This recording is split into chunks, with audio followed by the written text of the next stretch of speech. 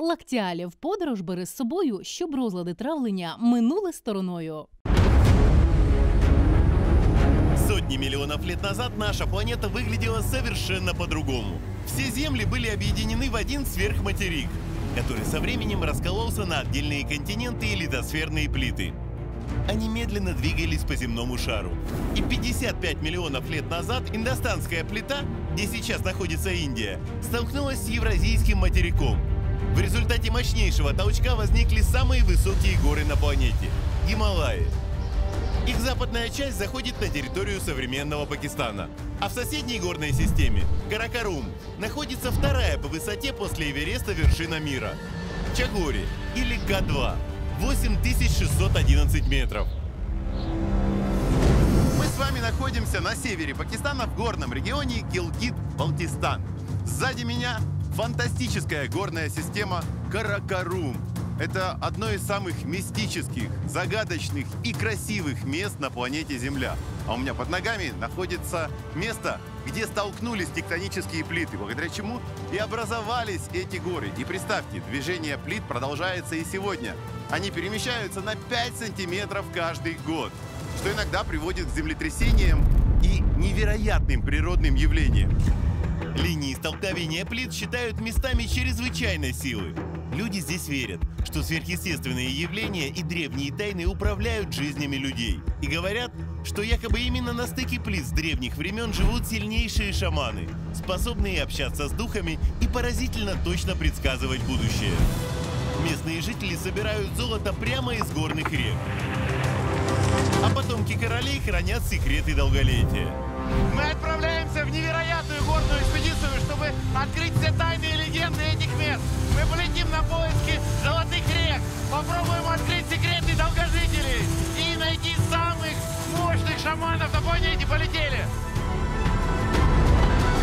Сейчас мы увидим Гильгит-Балкистан с высоты птичьего полета. Это невероятная возможность пролететь в этих местах на вертолете и увидеть одни из самых живописных мест в Пакистане с воздуха. Это будет что-то невероятное.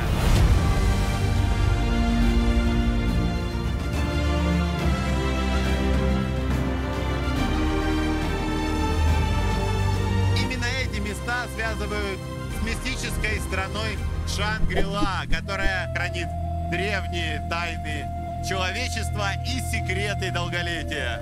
Господи, сколько экспедиций отправлялись в горы, чтобы попытаться найти этот рай на земле, где можно якобы найти фонтан бессмертия. Но все безуспешно. Пришла наша очередь, друзья, попытаться отыскать мистическую землю Шангрила. Говорят, она находится где-то здесь, и, возможно, нам повезет, и мы сможем разгадать тайны человечества. А если встретимся с невероятными шаманами, то даже предсказать будущее. Кто знает, возможно, это не просто легенды, возможно, в них есть хотя бы доля правды.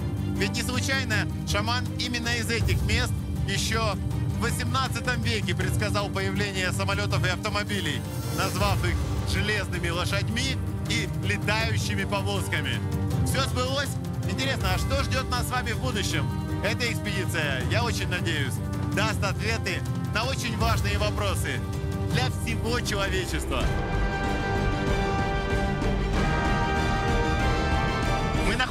Кашмире, друзья. Это уникальный регион. Посмотрите, какая красота.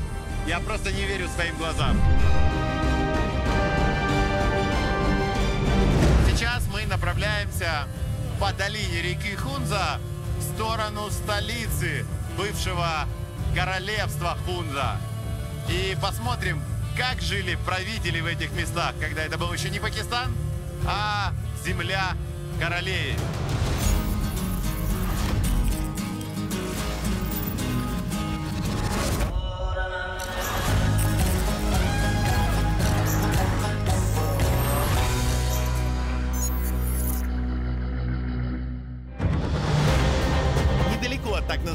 Точки горной встречи, где сходятся три крупнейшие горные системы мира – Гималаи, Гиндукуш и Каракарум – расположено место, которое многие любители гор называют раем на земле. Это загадочная долина реки Хунза, в которой обитает удивительный народ хунзакуты. Говорят, что эти люди живут по 120 лет и почти не болеют. По одной из версий, их крошечное государство было заложено войском самого полководца Александра Македонского. Кунзакуты с древних времен жили в независимых княжествах, управляемых мирами, или по-нашему, королями. Даже после того, как территория Хунзы стала частью Пакистана, они сохранили здесь частичную власть. И только 47 лет назад полностью потеряли влияние. И из королевской династии превратились в обычных людей. Но напоминания о временах монархии здесь можно найти повсюду. Самых главных из них два. Древние форты Аутит и Баутит, в которых жили и откуда правили здешние короли. Потомки самых настоящих королей до сих пор продолжают жить здесь, в долине Хунза. Мы с ними обязательно встретимся, но прежде попадем в настоящий королевский дворец. Аутит стоит на самом краю обрыва, напоминая суровые замки из «Игр престолов». Кажется, что на стене форта вот-вот поднимется стража, чтобы охранять жителей долины. Ему 1100 лет, и история у него просто уникальная. Вы знаете, в королевствах и вообще в любом правительстве всегда идет борьба и война за власть. И вот здесь кипели такие баталии. Самая знаменитая из них, когда поссорились два королевских сына. И один из них, старший, переехал в форт Балтит. А младший остался здесь, в Алтите. И начал организовывать войну против родного старшего брата. Но старший брат в итоге победил, а младшего замуровали в одной из колонн здесь, внутри этого форта. Тогда так наказывали.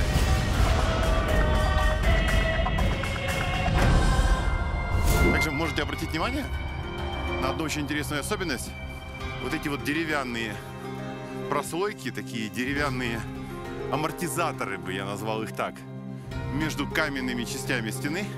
Сделано это для того, чтобы вот эта постройка могла выдержать землетрясение любой магнитуды. И уже была ситуация, когда в Пакистане произошло землетрясение магнитудой 8,5 баллов, и форт выстоял, несмотря на то, что ему больше тысячи лет.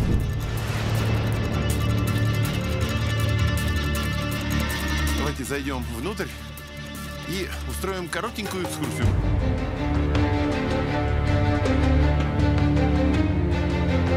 Вообще очень интересно рассматривать интерьер древнего форта и представлять себе, как жили короли. А жили, кстати, очень скромно. Скрипучие двери, балки, средневековый интерьер. Дворцы здешних королей, мягко говоря, не Версаль. Вместо золота и мрамора – дерево и глина вперемешку с навозом. А вместо просторных залов – небольшие комнатушки с крошечными дверьми.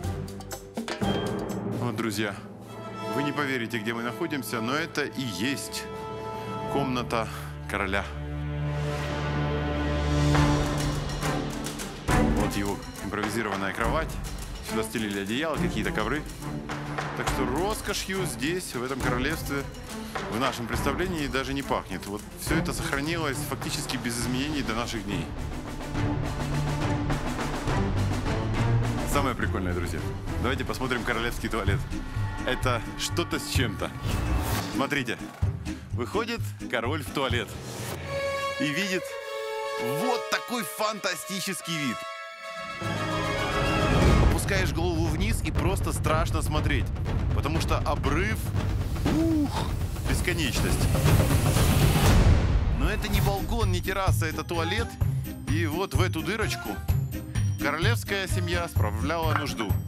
И все продукты жизнедеятельности человека, которые попадали в это отверстие, стекали вот туда, вниз. И попадали в реку. Так что вот такая канализация королевская была в те времена. Честное слово, вот я на месте короля здесь бы организовал не туалет, а супер террасу для того, чтобы балдеть, отдыхать и кайфовать от жизни. А он сделал здесь туалет. Ну что ж поделать. Все могут короли. Резьба – это и есть самое роскошное, что есть королевских фортах здесь, в долине Хунза, потому что в остальном атмосфера очень скромная, но можно увидеть очень интересные детали. Смотрите, мы видим свастику. Свастику в форте в мусульманской стране. Вопрос, откуда она здесь? Дело в том, что это один из символов буддизма и индуизма. А до прихода ислама здесь был буддизм. Через долину Хунза проходил легендарный шелковый путь. Здесь находили убежище многие буддийские миссионеры и монахи. В результате большинство местного населения в свое время стали исповедовать буддизм. А этот регион сыграл важную роль в его распространении по всей Азии. Ислам же пришел на эти земли позже, в 15 веке. Вот, друзья, это страшно звучит, но перед нами та самая колонна, в которой замурован человек. И этому есть подтверждение. Там находили кости, потом была реставрация, и скелет там до сих пор остался. Вот такие суровые законы были в те времена. За любое преступление правители наказывали быстро и строго, как простого человека, так и знатную особу. Причем для вторых приговоры были куда суровее, хоть в это и трудно поверить в наши дни. Тогда считалось, что простые крестьяне не смогут наделать много бед, и поэтому их просто сажали в темницу. А вот человек из знати может настроить толпу против правителя, ведь таким людям прислушиваются. Поэтому за неподчинение власти больших людей того времени могли легко приговорить к смерти. Но даже повешение можно назвать не самым страшным наказанием в сравнении с казнью, которая ждала тех, кто осмеливался напасть на королевский форт. Это очень страшно. Приготовьтесь к уникальным кадрам. Вот оно, место казни. Стражники брали того, кто пытался захватить крепость, захватывали, подносили к этой точке. И вот именно с этого места просто сбрасывали в обрыв. И все, человек разбивался.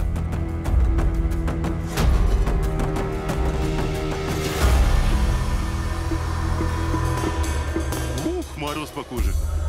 Какой страх. Жестокая борьба за власть кипела в этих стенах больше восьми сотен лет назад. Сегодня, в теплое время года, здесь можно встретить туристов. И всегда смотрителя форта. Он поможет нам пролить свет на особенности не только этой крепости, но и всего региона. Этот форт расположен в таком месте, что его защищает сама природа. Вокруг сплошные горы и обрывы. Попасть сюда было очень сложно. Надежная защита при помощи этих гор. Но часто можно услышать про шаманов и мистику. Вот как вы к этому относитесь? В нашей истории есть и шаманизм, и мистицизм. Я должен признать, что многие пророчества шаманов действительно сбылись. Например, строительство Каракарумского шоссе, которое называют восьмым чудом света. А вот что касается более глобальных предсказаний. В 1860 году обвалилась часть Большой горы. Тогда шаман по имени Бульбульпир предсказал, что через 150 лет будет такой же обвал, но с другой стороны горы. Сразу несколько сильнейших шаманов Хунзы в разные года сделали одно и то же жуткое предсказание.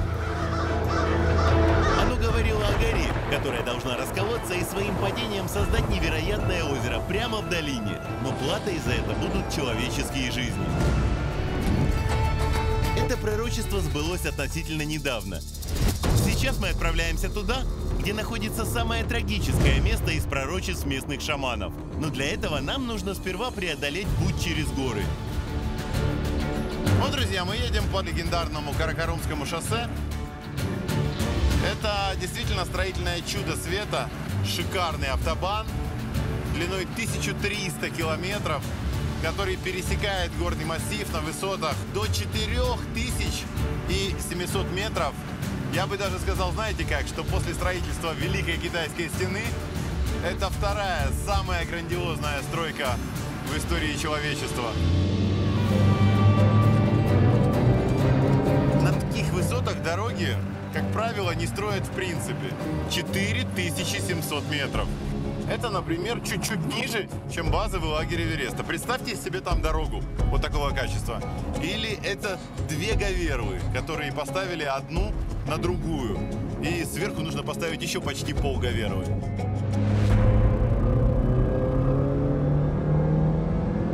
Каракарумское шоссе строили 20 лет. Учитывая местность, необходимость взрывов, постоянные обвалы и камнепады. Во время строительства здесь погибло много людей, а потрачены были десятки миллиардов долларов. Когда слышишь такие цифры, сразу должен возникать вопрос, а кому это выгодно? Друзья, это выгодно Китаю. Именно поэтому китайцы строили эту дорогу, и они финансировали этот проект. В древние времена здесь проходил легендарный шелковый путь, и караваны перевозили грузы. Сегодня это тоже своего рода шелковый путь, который еще не закончен. Каракарумское шоссе связывает китайскую границу практически со столицей Пакистана, городом Исламабад. Очень скоро Китай и Пакистан закончат совместное строительство грандиозного проекта – порт Агватер возле границы с Ираном и дорогу к нему из Исламабада. Тогда Каракарумское шоссе позволит Китаю намного быстрее и дешевле доставлять свои товары в арабские страны и Африку. Сейчас для этого кораблям нужно делать большой крюк, огибая целый материк. Но когда проект будет закончен, китайские грузовики смогут срезать большую часть пути через Пакистан прямо к Аравийскому морю. Ну а для простых путешественников эта дорога – невероятный музей под открытым небом. Каракарумское шоссе – это единственное место в мире, где прямо из окна машины можно увидеть величественный, гигантский восьмитысячник Нанга Парбат, который входит в тройку самых опасных в мире для альпинистов. По статистике, в среднем каждый третий, четвертый восходитель, который пытается подняться на вершину Нанга Парбат на высоту 8126 метров, к сожалению, погибает. Впечатляет очень вся эта сила и мощь. Прямо не верится, что на расстоянии вытянутой руки мы видим восьмитысячник. Чтобы увидеть Эверест, мы две недели шли пешком. Здесь просто едешь по шоссе, и вот тебе, пожалуйста, восьмитысячник. По живописным дорогам современного шелкового пути мы приближаемся к месту из шаманских предсказаний.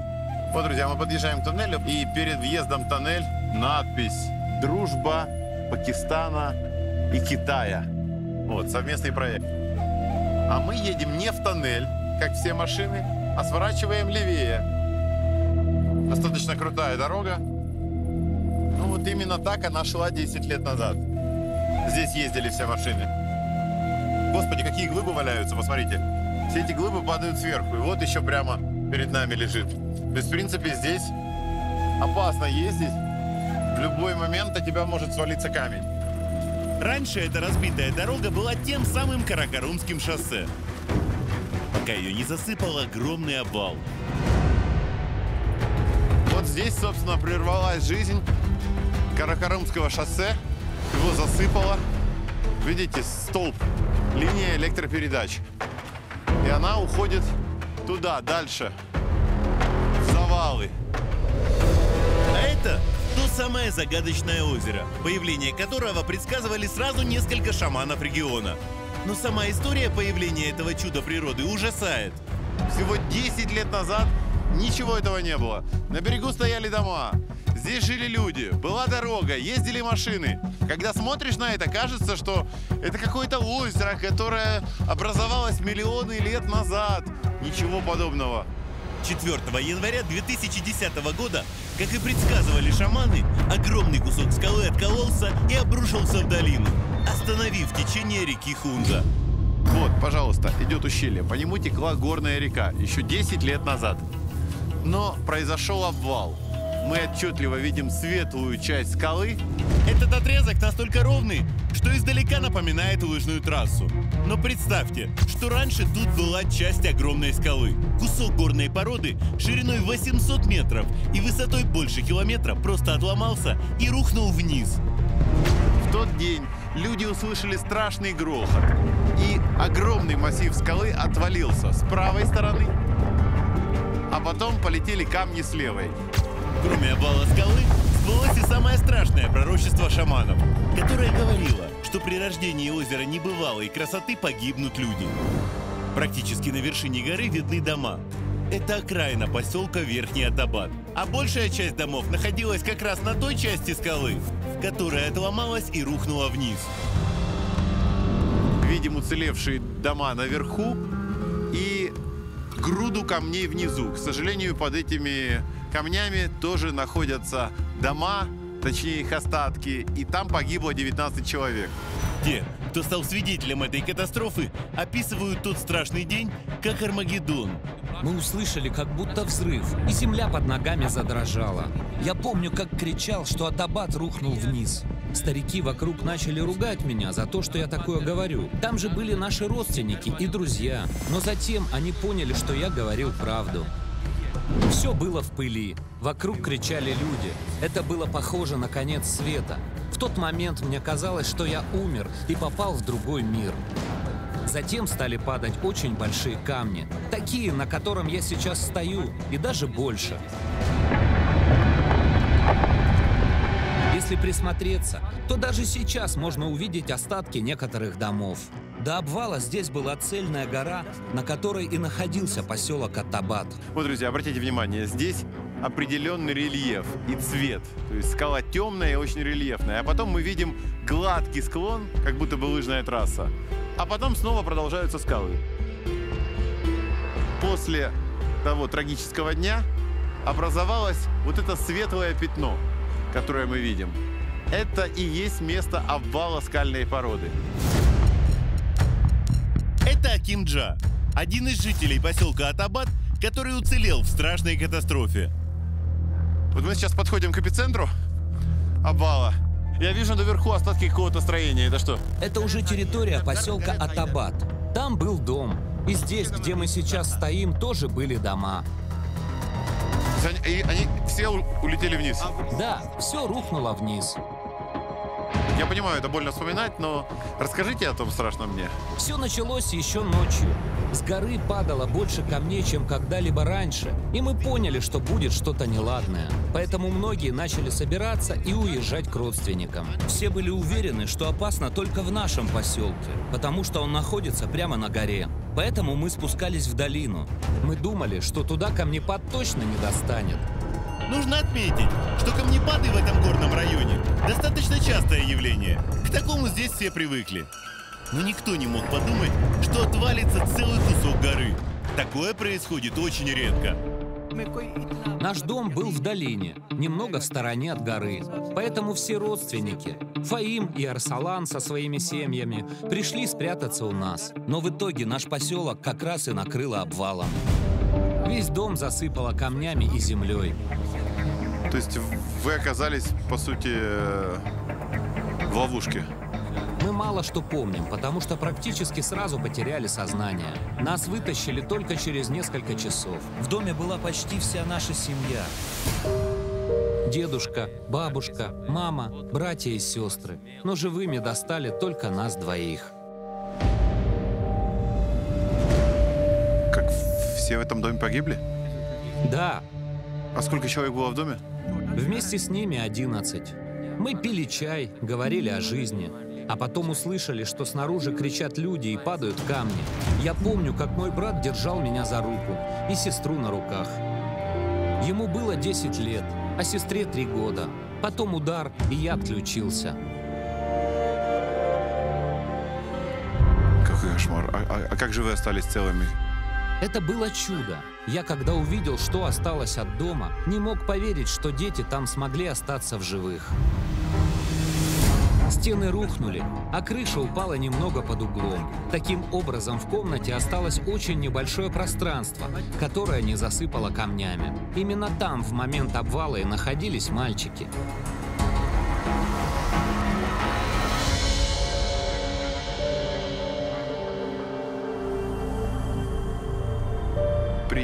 Ребятах специально не задавал многие вопросы, потому что прекрасно понимаю, как это будет травмировать, и не стал просить их поехать на то место, где это все произошло. А а вас попрошу, если у вас есть силы и терпение, чтобы еще раз подъехать к этому месту, давайте вместе подъедем и посмотрим, что осталось от дома. Хорошо. Вот,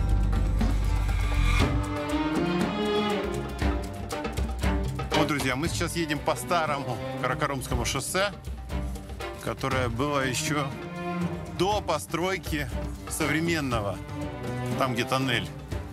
И, собственно, обвал заблокировал эту дорогу полностью. Когда эта дорога была основной, ее качество было намного лучше. Скажите, ну это же очень важная, стратегически важная, я даже сказал бы, магистраль. Когда произошел обвал и дорогу заблокировал, как решался транспортный вопрос? Местные жители на больших лодках перевозили людей и машины через озеро. Другого пути не было. Местные жители превращали свои лодки в самодельные баржи и переправляли на них не только людей и провизию, но даже транзитные автомобили дальнобойщиков, которые курсировали между Пакистаном и Китаем. Такой заработок стал спасением для многих местных, чьи фермы и поля уничтожил обвал. Так продолжалось целых пять лет, пока разорванное Каракарумское шоссе не соединили новым тоннелем.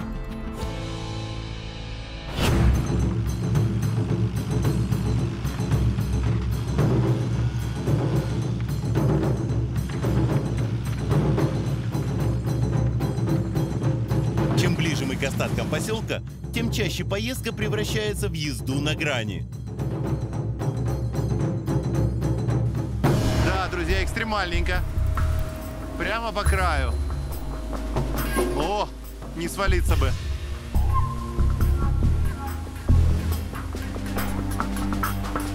Вот Такие деревянные мосты. Потрясающая местность, на самом деле очень красивая, но для жизни очень сложная. Вот, друзья, едем по такой экстремальной дороге, пробираясь к месту, куда, собственно, обвалились все камни.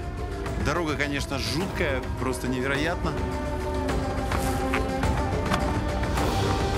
Когда шевелятся камушки вообще, ощущение такое, знаете, очень страшно. Посмотрите вниз. Все, дальше не проедешь. Туда только пешком. Мы приехали в поселок, куда жители Верхнего Атабада бежали по горным тропам, чтобы укрыться от камнепада. Вот то место, по которому мы сейчас идем. Здесь что-то было? Это уже наш поселок. Там дальше были дома.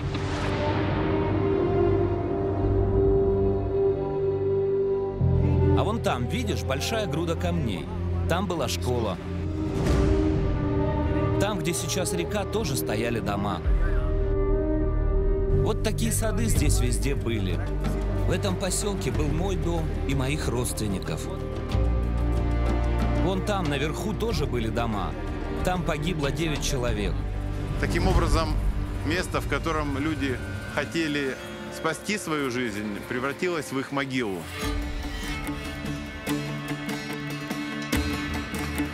Друзья, самое печальное, мы уже на том месте, где были жилые дома, где погибли люди, все это просто смыло потоком селевым. Во время обвала куски горной породы и грунт смешались с речной водой и мощным потоком обрушились на долину. Вот здесь даже можно увидеть, что это глина в перемешку с водой, куски скалы, камни. Такая масса просто стекала оттуда и сносила все на своем пути. Вот мы подходим к месту, где видна стенка дома, который завалило. Очевидно, судя по балке, что это крыша. И, скорее всего, здесь тоже погибли люди. Вот здесь был дом, в котором нашли Арсалана и Фаима. Здесь большая комната. А вот в этом углу они сидели. То есть, получается, Фахим и Арсалан сидели в этом углу. Именно поэтому они выжили. Дальше уже видна глина, то есть дальше уже шансов было все меньше и меньше. Сразу после катастрофы вся эта долина была засыпана землей и камнями до такого уровня, как мы сейчас стоим. Была ровная земля. По ней мы ходили прямо на ту сторону. Друзья, просто страшно представить. Все это было засыпано камнями и грязью, глиной до противоположной стороны. То есть можно было пройти пешком. И реки здесь не было. Это все было глина, камни, и потом река проложила для себя новое русло. Вы прибыли сюда через час после трагедии. Что вы здесь увидели? Здесь были тысячи людей. Спасатели, волонтеры, военные, местные жители. Все искали выживших. Мы искали, но находили только погибших. Я лично нашел здесь тела четверых своих родных. Младшего брата Арсалана, мою младшую сестру, двоюродную сестру и тетю. Эту трагедию называют самой таинственной в истории долины Хунза. 150 лет назад о ней пророчил шаман. И в это сложно поверить, но совсем накануне катастрофы было еще одно предупреждение. За несколько недель до катастрофы приезжали специалисты и сказали, что у нас есть не больше 15 дней до обвала. Но не все прислушались к ним. Мы не отнеслись серьезно к этим предупреждениям. Здесь же камни постоянно с гор падают. Люди могут ошибаться. И мы ошиблись. Мы думали, что обвал будет идти прямо, а он пошел в сторону по течению реки, накрыл мой дом. Там погибли две мои дочери.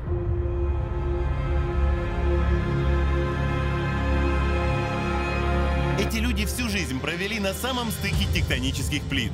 Небольшие землетрясения и камнепады для них, как для нас, к примеру, гроза. Обычное дело. Поэтому не все отнеслись серьезно к предупреждениям об опасности. Сегодня о катастрофе напоминает озеро Атабад, которое назвали в честь рухнувшего в пропасть поселка Атабад. Сейчас это озеро – главная достопримечательность всего горного Пакистана. Но 10 лет назад именно это озеро стало главной опасностью всей долины. Для того, чтобы отчетливо увидеть это, лучше всего подняться в воздух и посмотреть на это место с вертолета.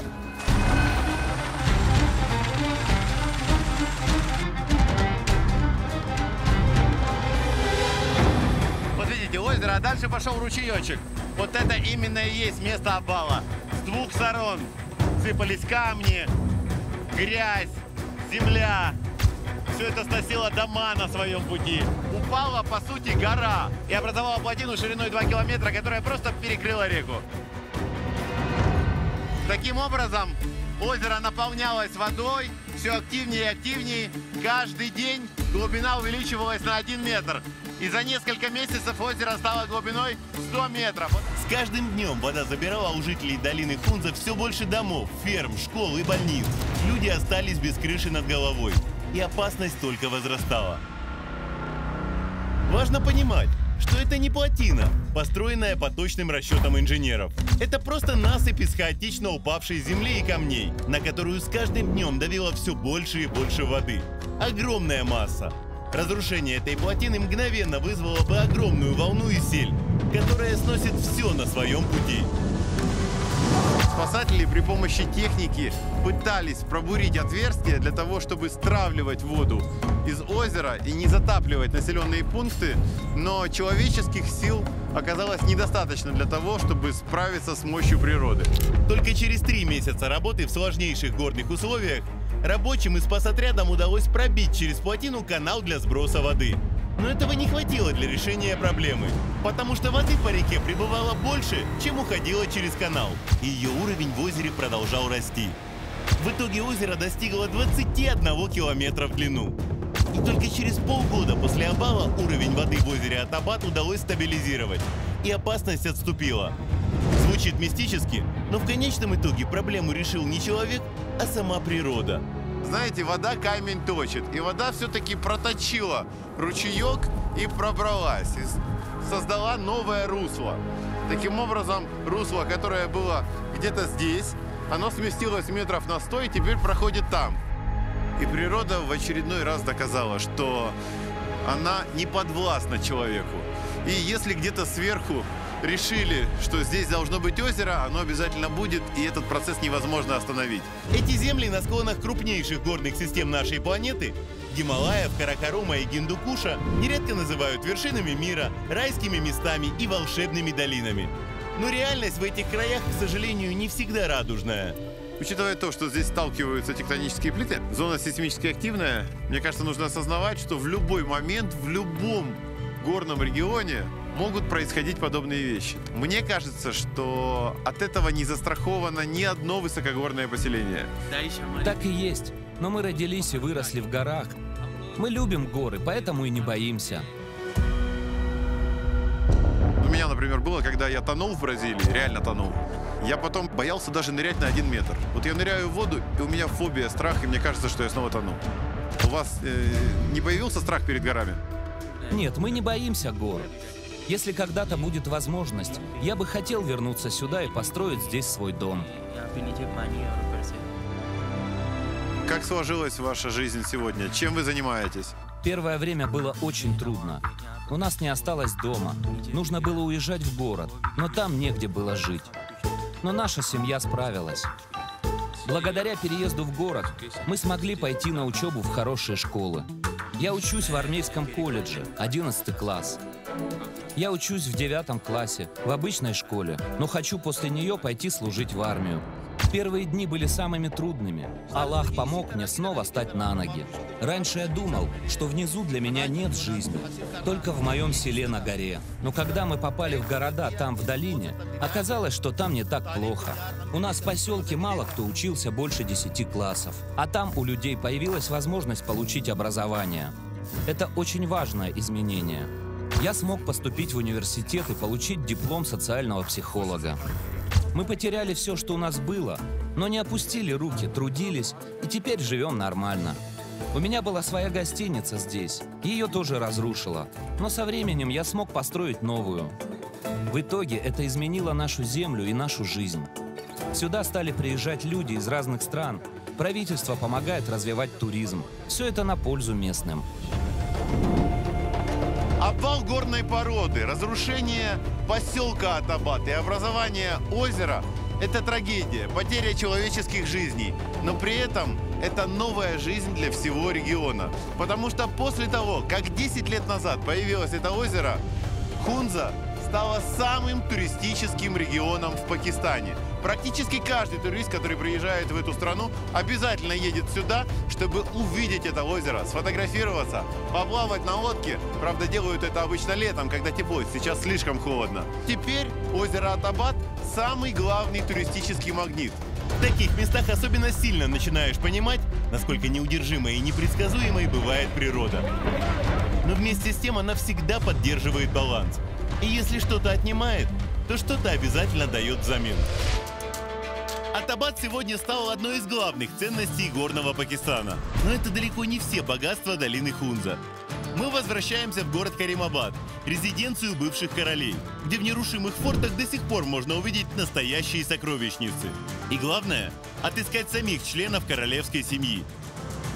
На таком холоде очень сложно работать, мерзнут руки, мерзнет техника. Батареи разряжаются очень быстро. Например, на коптере можно летать минут 15 при таком холоде. Поэтому я засекаю время на часах, чтобы вовремя сменить батарею. А вот часам хоть бы что, они выдерживают температуру от минус 40 до плюс 70 градусов. Не боятся дождя и даже песчаной бури. Как раз для наших рабочих условий.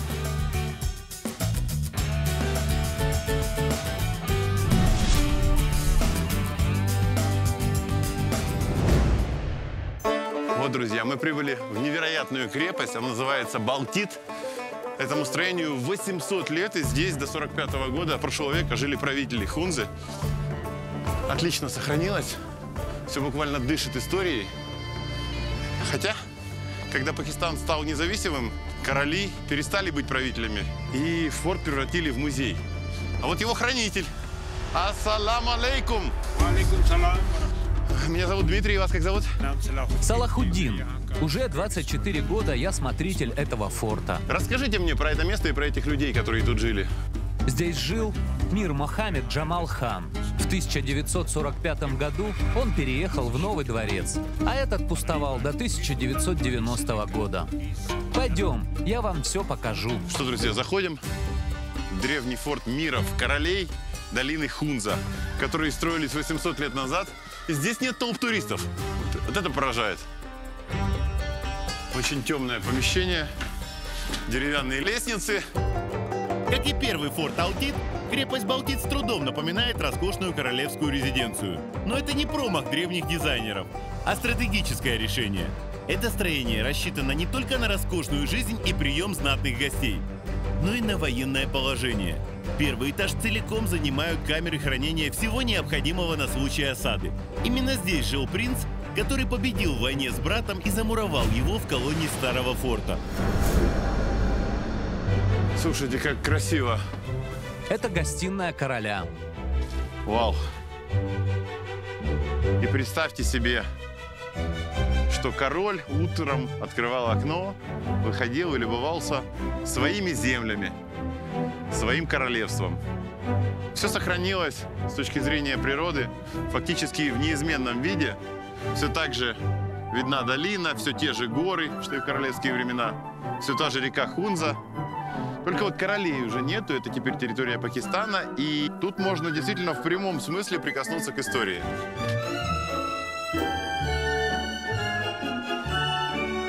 А вот здесь была печь, я так понимаю, да? Здесь был банк короля. В смысле банк? То есть это, это сейф, хранилище денег? Да, А это для чего? если королю нужны были деньги, он доставал их отсюда. Фантастика. Это банк, то есть это сейф древний, королевский. В то время не было бумажных денег, были монеты. По приказу короля здесь всегда сидел казначей, который выдавал деньги. Король просто протягивал руку, и казначей выдавал ему нужную сумму. Вот так, друзья, представьте, жена пилит короля, говорит, где деньги? Он постучал, дверца открылась, мешочек с золотом. На, иди на базар, иди. А можно в банк зайти? Можно, но там сейчас идет реставрация. Вот давайте увидим, как закрывался банк. Замочек тоже, как в наших сельских хатах. Открываем и попадаем в банк. Ох, класс. Раньше эта комната была доверху заполнена золотом, которое стекалось королю со всех уголков его княжества. Ассаламу алейкум. Меня зовут Дима. Мушараф Мушараф. кидает. Вы здесь проводите реставрационные работы. Здесь было золотохранилище. Не было счастья и удачи? Не находили что-нибудь драгоценное? Полвека с 1945 по 1990 года это место было заброшенным и пришло в полный упадок. Сокровищ здесь не осталось. Я бы на вашем месте, если бы нашел золото, я бы тоже никому не сказал. Я бы сказал, ничего нету. Ну что, спасибо вам. Желаю все-таки найти золотую монету и никому не рассказывайте, если найдете. А золото, друзья, в этих местах еще очень много. Это золотоносная долина. Помимо налогов от местных жителей, казна этого форта также наполнялась благодаря очень удачному расположению. Местный военный гарнизон контролировал торговые потоки через Каракарум между Южной и Центральной Азией. Доказательства тому здесь висят прямо на стенах. Это вот китайские деньги. А почему китайские? В давние времена здесь очень активно шла торговля между странами. Уже тогда пакистанские, точнее тогда еще короли мира вели бизнес с Китаем. Очень прикольно, мне нравится. О, а это что у нас такое? А здесь спальня и кухня одновременно. Вот эти вот все предметы, они с тех времен или это уже какая-то имитация, фейк? Это все настоящее. У нас до сих пор используются такие кастрюли в хозяйстве. А сделаны они из камня. Вот, кстати, друзья, я уже вижу очевидное отличие каменной посуды от металлической. Вот металлическая посуда тех времен, она уже дырявая, потому что время не щадит сталь. Вот. А каменная посуда, она до сих пор целая. Если ее не разбить, то она еще будет тысячу лет, наверное, или сколько угодно, да, служить. Да, эта посуда очень долговечная. Такая древняя посуда – это не просто память о былых временах. Ее до сих пор используют потомки королей в своих домах. Некоторые исследователи считают, что такой способ приготовления пищи – это один из главных секретов долгожительства хунзакутов. Мы это обязательно проверим и узнаем, в чем волшебное свойство местной кухни. Это уникальная посуда. Ее делали с помощью рогов мархура. Это такой винторогий козел. А что, настолько крепкие рога у этого э, легендарного козла пакистанского? Да, они твердые, как железо. У рогов этого козла есть особенность. Сколько на них кругов, столько и лет животному. У меня такая же история с усами. Их общая длина с обеих сторон сейчас 90 сантиметров. О-хо-хо-хо! Фантастика! Я все не мог понять, что у вас такие бакенбарды. Усы на уши намотанные. Фантастика! Сколько лет вы отращивали эти усы? 24 года. 24? Не стригли ни разу? Недавно срезал 10 сантиметров, чтобы подровнять. Они неровно росли. А можно прикоснуться? Я прошу прощения. Да, конечно. Вот это усы. Всем усам усы. Вам нужно в книгу рекордов. Такие усы не найдешь нигде. Обо мне написано во многих исторических книгах, а туристы всегда со мной фотографируются. А это самый первый король, Хазан Ханфаш. Мне кажется, усами он немножечко похож на вас. Да, он очень похож на меня, но у каждого из королей был свой стиль. А вот, вот здесь, в этой комнате, мы видим просто портреты всех этих королей, да? В разные годы. Да, То есть, друзья, когда образовался независимый Пакистан и королевство Хунзы официально перестали существовать, они остались формально. И все равно власть королевская передавалась из поколения в поколение потомков королей здесь в городе много. Да, потомки королей еще живы. В этих краях принцы и короли – это не древняя история. Правление монархов закончилось всего 47 лет назад. Поэтому королевские семьи все еще живут здесь, в долине. И мы попробуем их отыскать. Готовий до подорожей? Suzuki Jimny – це пригоди та безумовна свобода руху. Відкривай світ разом із Jimny. Следующей программе.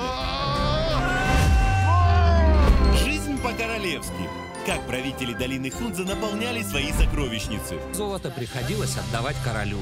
Каждый должен был отдавать по 20-30 граммов. И как сейчас живут члены королевской семьи. У меня было бы много владений и дворец. Точно не такой маленький гестхаус, простой ресторанчик, как сейчас. Мы узнаем, правда ли, что в этом регионе можно сказочно разбогатеть буквально за секунды. Земля, дом и самолет? И попытаемся найти свой клад там, где сами горы осыпают людей драгоценностями. Появляется на глазах золото из ниоткуда, из песка. Какая-то уникальная земля. Все побережье золотое.